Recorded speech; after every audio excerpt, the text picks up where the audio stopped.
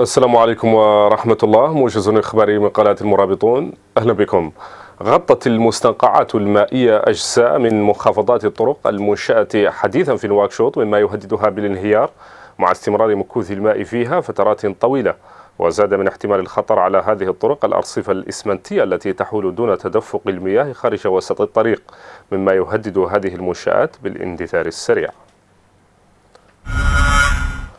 تعاني العديد من الأسواق والطرق في مقاطعتي الميناء والسبخة من استمرار التأثير السلبي للأمطار مما يهدد حياة السكان وينذر بانتشار أوبئة خطيرة نتيجة المياه الراكدة والمتعفنة في العديد من الشوارع بالمقاطعتين.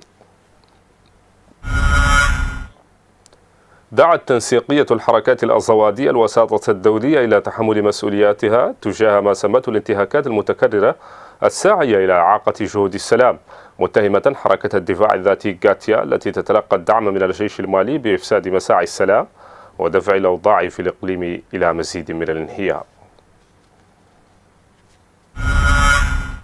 نهاية الموجز يمكنكم مشاهدينا الكرام متابعة هذا الموجز وغيره من مواجز ونشرات وبرامج القناة. عبر صفحتنا على الفيسبوك الظاهرة على الشاشة. السادسة نشرة إخبارية بحول الله دمتم في أمان الله. وطيب المنى.